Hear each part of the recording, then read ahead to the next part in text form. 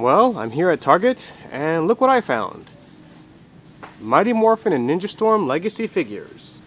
Yep, they are no longer Toys R Us exclusives. You can find them here at Target for $19.99 each, and um, yeah, well, don't have to worry about uh, getting them from online for like 30 or 40 bucks each. You can get them right here for a decent price, so that's pretty cool.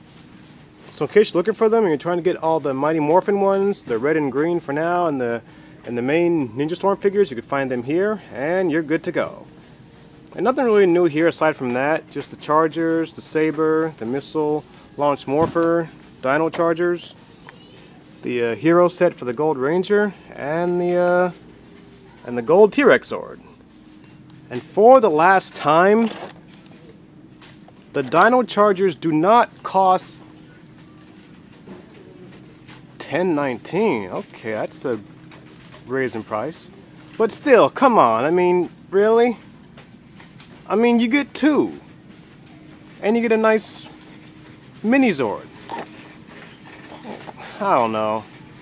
So yep, that's about it. And until next time, take care, my friends.